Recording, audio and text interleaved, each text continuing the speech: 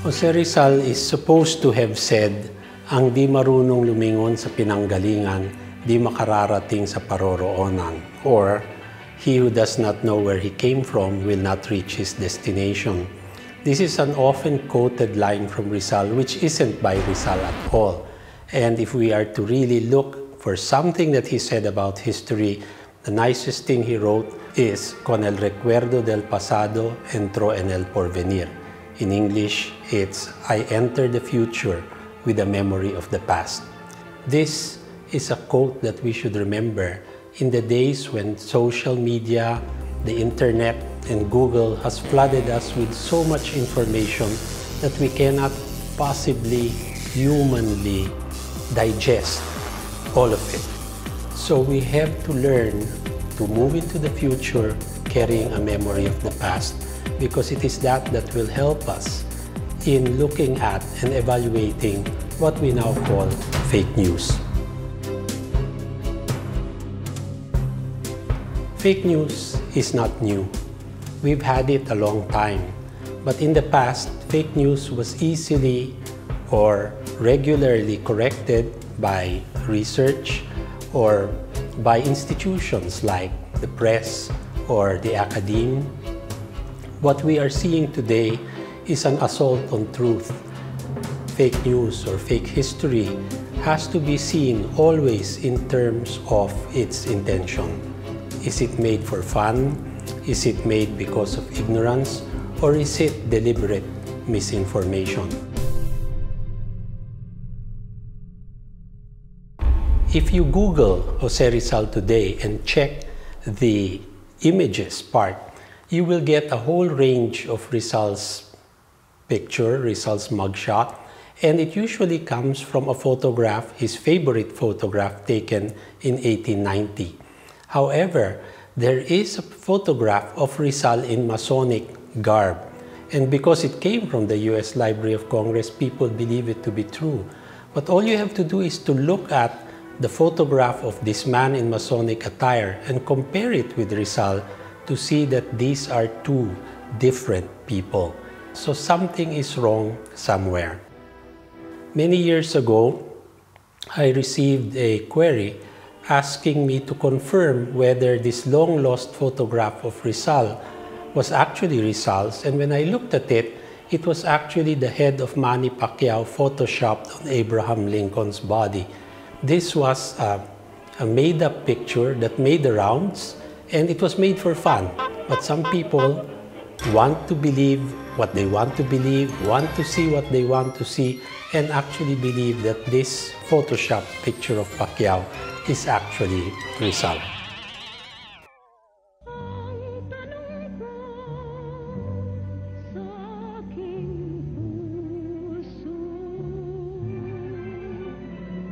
When I was a boy, I learned that Rizal had lost one of his slippers while he was playing near a river. And when he went home barefoot, of course, his parents asked him, What happened to your slippers? And Rizal is supposed to have said, I lost one slipper, and since this is useless to me, I threw in the other one because there might be a little boy downstream who will find the pair and it will be useful to him. If I'm the little boy downstream and I'm playing, and I see one slipper float by, I won't pick it up and wait for the next slipper to come, right? It is a story that is made up because it is meant to teach us a moral story. It is meant as a lesson for children to learn. So it is not exactly true, but its intention is good. With Rizal, we have a mixture of fact, fancy, and what Caroline Hau, the literary scholar calls necessary fictions. In a 1950 public school textbook, I saw a story that claimed that Rizal was the inventor of champurrado.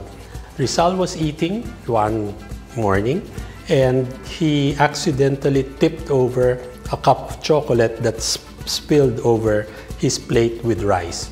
And so one of his sisters said, you know, you're a clumsy little boy, why did you do that? And Rizal is supposed to have said, no, I did that on purpose because if you mix chocolate and rice, you get champurado. If you actually look at the origin of champurado, champurado is not a Philippine meal, it's actually a Mexican meal. So we have a meal that sounds the same but it's not like the real Mexican champurrado and we have our national hero inventing something which he did not. So this is the type of thing that we get. That we have a Rizal who's supposed to teach us nationalism, patriotism, and all the good things which we are not. Of the two quotes that I have found, one is the quote about history, and the second is the quote about language, which we hear every year in August during Buwan ng Wika. And this is the most quoted line from Jose Rizal. It says, Ang hindi magmahal sa sariling wika, masahol pa sa hayop at malansang hisda. It came from a poem called Sa Aking Kababata, which was supposedly written when Rizal was 8 years old. I found out that unlike most of the things that I know about Rizal, Sa Aking Kababata does not have or is not supported by an original manuscript. It was published posthumously in a book on Florante at Laura by a man named Hermenegildo Cruz. It's in an appendix and it just says this is Rizal's first poem. It was given to one of his childhood playmates and I checked the name of the childhood playmate. It does not match up with any of the documentation that I know of. Rizal wrote mostly in Spanish and there are only two poems of Rizal in Tagalog. Both of them are questionable. When you look at Sa Aking Kababata, you ask yourself, how could an eight-year-old boy in Calamba compare Tagalog with Latin and Spanish and Greek? How can an eight-year-old boy in Calamba talk about freedom, which he uses twice in the poem the word kalayaan. When I checked through Rizal's correspondence, I found out that the first time Rizal had ever heard the word kalayaan, freedom, was in 1882. He was already 21 years old in a poem that Marcelo del Pilar was translating. Rizal also mentions in his writings that when he was translating William Tell from German into Tagalog, he was stumped by the word Freiheit, which in German means freedom. This was 1886, and Rizal could not find the Tagalog equivalent of Freiheit. And so, how can Rizal forget a word that he used twice in an 1869 poem? So, what we know is that Rizal did not write sa aking kabata.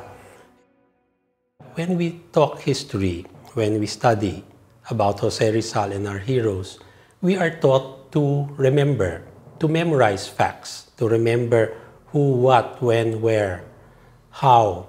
But more importantly, history should teach us that it is more than memorization. It is more than data. History teaches us to be critical, to question even the things that we think to be real. And that helps us to separate the true from the false and fact from opinion. We have a photograph of Jose Rizal's execution in the Luneta on December 30, 1896. And it is a photograph where Rizal is standing shortly before he is shot. That is the only picture we have, although over the years, some other pictures have come out including one that actually shows the volley of fire and Rizal falling dead. Because of this, people have started to doubt even the authentic picture. So what happens here is we don't know what to believe and we end up believing what we want to believe. So with Rizal, for example, we have other things. There are urban legends that persist. One of them, and the most popular, is that Rizal is supposed to be the father of Adolf Hitler. In 1913, Rizal's friend Maximo Viola wrote a memoir called Mis Viajes con el Dr. Rizal, or My Travels with Dr. Rizal, in May of 1887, Viola and Rizal were in Vienna and they stayed in the Hotel Metropole. We actually have a photograph of the receipt of the hotel that gives us the room numbers they stayed in. Hitler's mother, Clara Polz, is supposed to have worked in the Hotel Metropole in Vienna. And it is this very faint connection that is the root of the urban legend that Rizal is the father of Adolf Hitler. All you have to do is to look up Hitler's birthday, which is April 20, 1889, and you will actually find out that Rizal was nowhere near Austria or Vienna in 1889. He was actually in London, in the British Library, doing his research on the pre-Spanish Philippines. This was also quite funny because when I dug it up, I didn't realize that Adolf Hitler's real name was Alois Schickelgruber, a name that sounds very funny to us and it gives you the, the sense of how powerful a name can be because you cannot shout Heil Schickelgruber. Doesn't sound very nice, but Adolf Hitler has a very strong ring to it. Jose Rizal was in London so he's not Adolf Hitler's father. But this led to another urban legend. Jose Rizal actually moved to Paris in 1889 in order to print the Sucesos de las Islas Filipinas. Now, at the time that Rizal was in London doing research in the British Library, Jack the Ripper murders occurred. And as we know, Jack the Ripper was never caught but he killed with a sharp instrument that suggested that A, he had medical training, that's Rizal, or B, he killed with a scalpel, that's Rizal again. Now, the important part to remember here is that Rizal is in London at the time the murders occur, and when he moves to Paris, the murders stop. Now, if you open the Jack the Ripper website, it has a long list of suspects and you will be surprised to find that Jose Rizal is one of the suspects in the Jack the Ripper murders. And I remember one of my undergraduate students once told me when I said this in class, he said, you know, sir, everyone else has missed out on the biggest clue of all. And I said, what's the biggest clue? And he says, J.R. Jack the Ripper and Jose Rizal share the same initials. Normally, I would laugh, but I like to think that this is a student who's thinking, he's just trying to be funny, but in many ways, I learn a lot more from my students that they learn from me. And I'd like to think that even when they're making fun, their mind is working, their mind is thinking, their mind is thinking critically, which is what we are all talking about today.